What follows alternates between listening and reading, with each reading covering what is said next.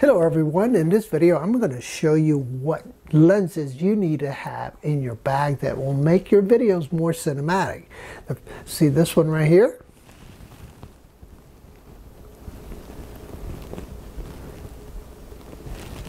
This is anamorphic lens from Freewell and it's a really cool lens that gives you about 15 to 20% wider field of view and the other lens that you should consider purchasing is this one here on the top. It's a fisheye lens, which I've reviewed in the past before.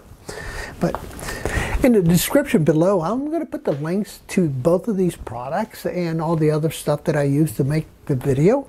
And uh, I think you really should have one of these in your bag because of the fact that it gives you more options to make creative content. So when you get more creative, you get more cinematic, right? So to be able to show you guys the video comparison between the lenses, what I did is I used the Dronie Quick Shots, the Quick Shots, Dronie and Rocket to illustrate the difference between the lenses. And the reason why I chose those is because they're automated shots that give you the same perspective at the same time, right? So, with that said, um, let, let me show you the video I put together for you guys, okay? And then uh, we'll talk about what we see, okay? Let me go ahead and uh, show you that right here. And I'm going to start the screen recording. Three, two, one, okay, and then I'm going to pull the video up here.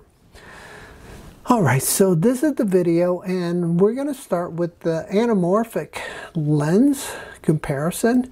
And this is a picture I took uh, at a place called Browns Island. And it looks like, and then I put a square box of what your de-squeeze factor is like uh, on the anamorphic lens. All right, so the quick shot resolution is 1080p at 29.7 frames per second. I'm going to render this video or upscale it to 4K and upload it to YouTube in 4K. So this is the shot without the lens. Okay. This is what you would normally use. And here is the anamorphic lens. One thing to note is how your subject or objects get elongated a little bit. Okay? But the big deal is how much wider your field of view is. Okay?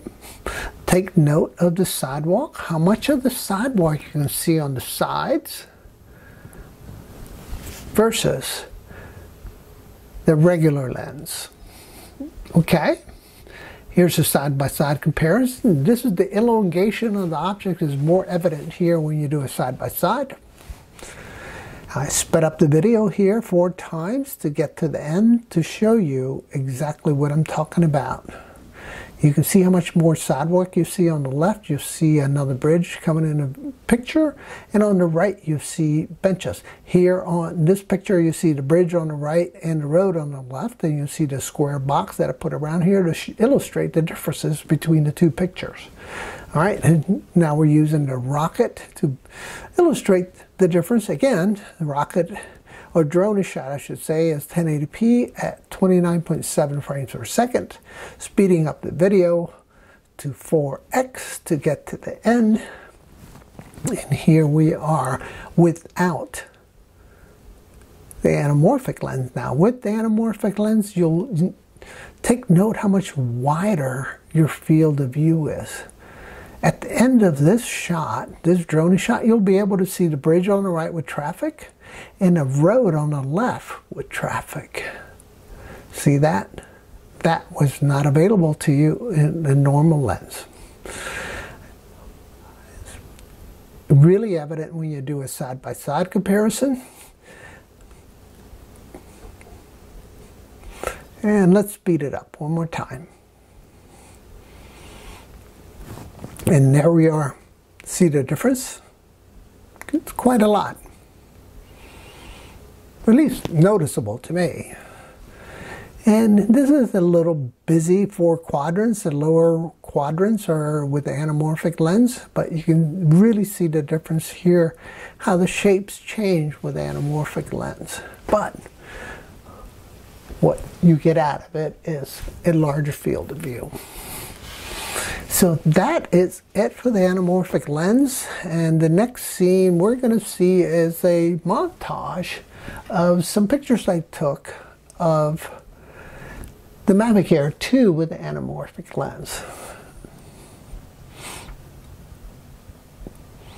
There we are. This is what the Freewell anamorphic lens looks like. This is what it looks like on the drone.